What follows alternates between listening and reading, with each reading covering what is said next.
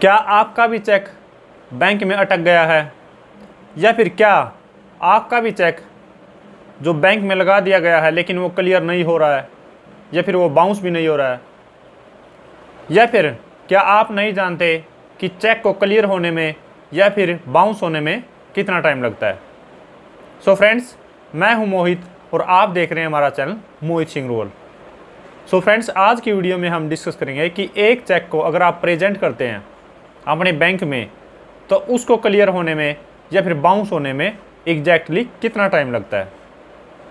क्योंकि कई बार क्या होता है कि एक पर्सन जाके जो अपने बैंक में चेक लगा देता है। अब वो एक दिन बाद देखता है कि उसका चेक ना बाउंस हुआ है, ना क्लियर हुआ है। दो दिन बाद देखता है। तो इसके क्या रूल रेगुलेशन है और नॉर्मली जो प्रैक्टिकल टाइमिंग है, वो क्या रहती है? वो आपको पता होना ज़रूरी है। क्योंकि उसके बाद आपको बार बार चक्कर नहीं काटने पड़ेंगे बैंक के और आपको पता भी लग जाएगा कि एग्जैक्टली कितना टाइम लगता है।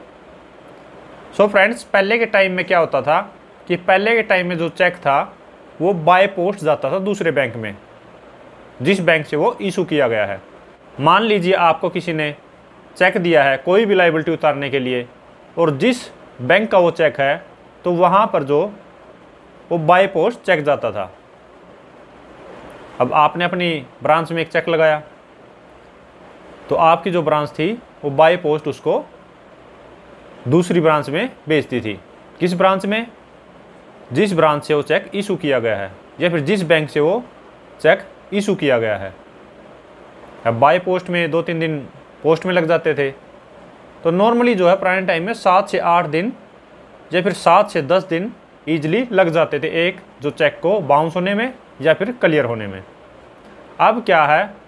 अब जो उसी चेक को, अब जो सीटीएस चेक है, अब इन्हीं चेक को, जो नए चेक आए हैं सीटीएस तो इसको स्कैनिंग करके भेजा जाता है।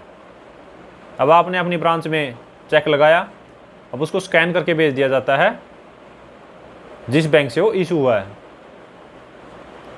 तो अब स्कैनिंग में इतना ज़्यादा टाइम लगता नहीं है।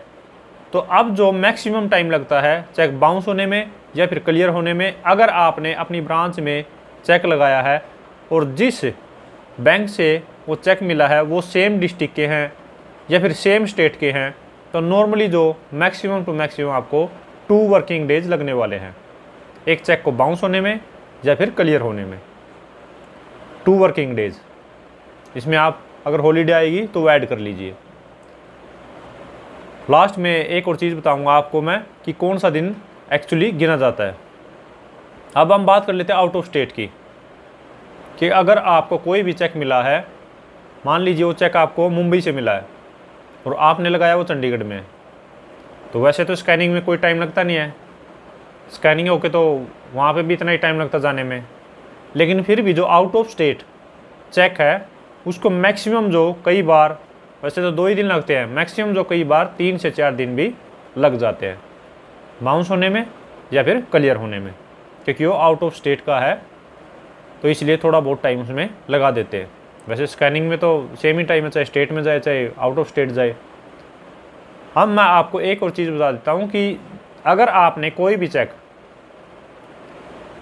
दिन में लगाया, मान लीजिए सवेरे ग्यारह बजे लगाया है, या फिर दो बजे लगाया है, अगर आप किसी भी चेक को साढ़े तीन बजे से पहले पहले प्रेजेंट करते हैं तो वो दिन जो है आपका, वो काउंट होता है। अगर आप साढ़े तीन बजे के बाद उस चेक को अपनी ब्रांच में लगाएँगे तो वो दिन काउंट नहीं होता। तो इसलिए मैं आपको एडवाइज़ करूँगा कि आप जब भी चेक लगाएँ तो उसको साढ़े तीन बजे से पहले पहले अपनी ब्रांच में प्रेजेंट कर दें, ताकि वो दिन भी आपका जो है, वो काउंट हो जाए। सो so फ्रेंड्स ये थी वीडियो जिसमें बताया गया कि चेक को बाउंस होने में या फिर क्लियर होने में एक्जैक्टली कितना टाइम लगता है। सो so फ्रेंड्स अगर ये वीडियो आपको अच्छी लगे तो लाइक कीजिए शेयर कीजिए। और अगर आपने चैनल अभी तक सब्सक्राइब नहीं किया तो चैनल को सब्सक्राइब कर लीजिए, क्योंकि चेक से रिलेटेड बहुत ही बढ़िया कंटेंट इस चैनल पर आने वाला है। Thank you so much bye bye